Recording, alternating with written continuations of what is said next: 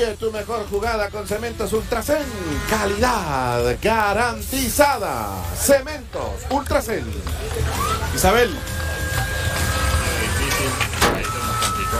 Creo que tenemos que ver en lo que fallamos, y, y- y- pero lo más importante es que pasamos a la final. El empate, pero logra la clasificación como te lo mencionaba. ¿Qué pasó hoy para que Maratón, bueno, viniera a hacerles eh, partido a diferencia de la presentación que vimos de Olimpia en la, en la, en la ida?